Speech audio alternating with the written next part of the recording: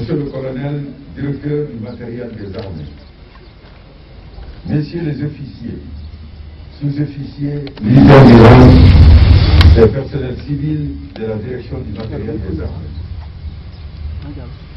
C'est avec un grand plaisir que je me retrouve parmi vous à nouveau, dans l'espace de deux mois, au camp de la direction du matériel des armées pour la présentation de matériel nouvellement acquis et ceux rénovés, précédemment déployés dans le cadre de la mission multidimensionnelle intégrée des Nations Unies pour la stabilisation du Mali, MINUSMA, et de la mission multidimensionnelle intégrée des Nations Unies pour la stabilisation Centrafrique, MINUSCA. À l'entente de mon propos, permettez-moi d'avoir une pensée pieuse pour la mémoire de nos disparus et de formuler des prières de prompt rétablissement pour les blessés et malades, particulièrement ceux affectés par la COVID-19.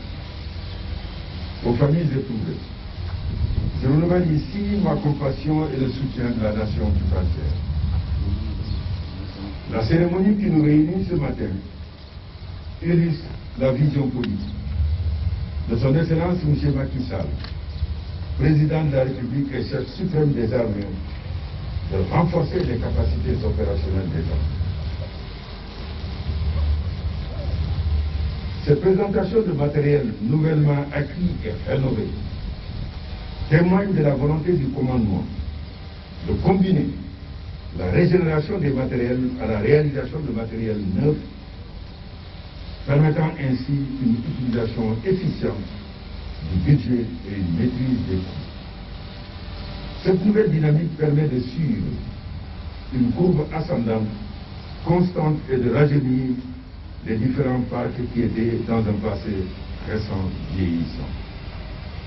Il s'agit notamment de 118 camionnettes Toyota Land Cruiser neuves militarisées, 10 camionnettes Toyota Hilux neuves, 12 camions de transport de troupes de marque Kamaz, 47 camions, camionnettes Toyota et Land Cruiser et 10 camionnettes Toyota Hilux entièrement rénovées.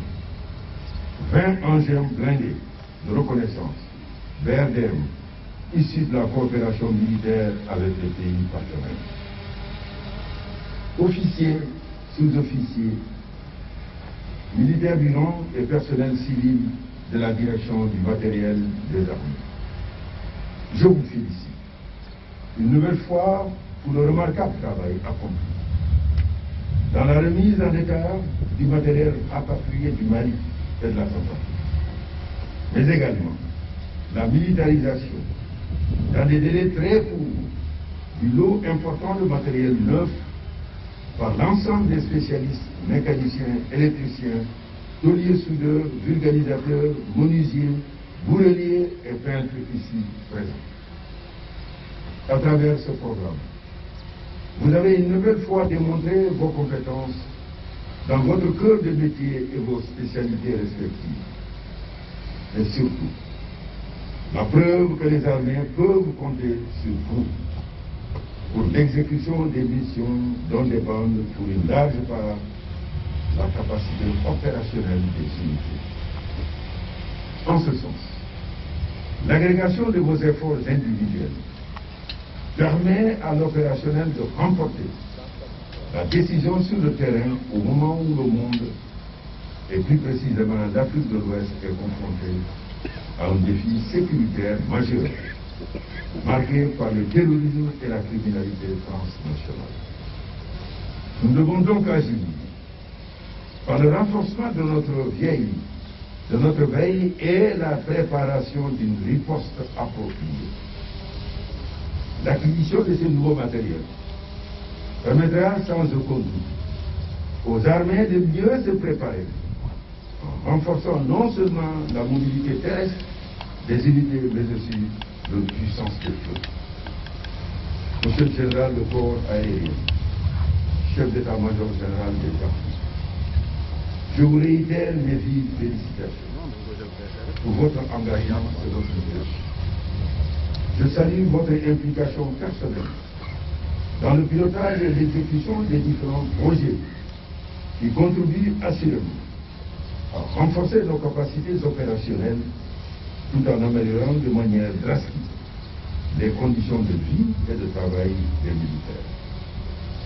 Je voudrais également encourager le directeur du matériel des armées pour son dynamisme dans la mise en œuvre de ce programme et l'exhorter à rester sur la même lancée pour faire face avec succès aux défis actuels et futurs.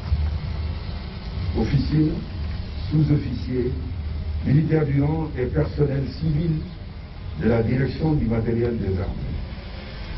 Érige celui qui sait prendre soin de ce que Dieu nous offre. Le maintien en parfait état de ce matériel s'avère nécessaire dans l'optique de rallonger leur durée de vie. Cette action qui relève du patriotisme devrait être menée en premier lieu par les utilisateurs.